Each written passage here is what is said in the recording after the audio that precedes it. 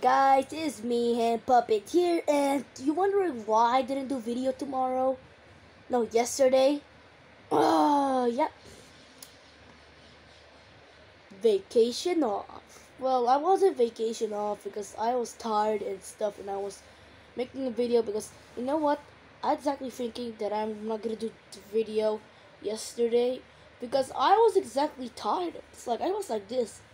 You know what? I'm not gonna do video tomorrow. It sucks. So yeah, if you want more video again, make sure to like and subscribe. And yeah,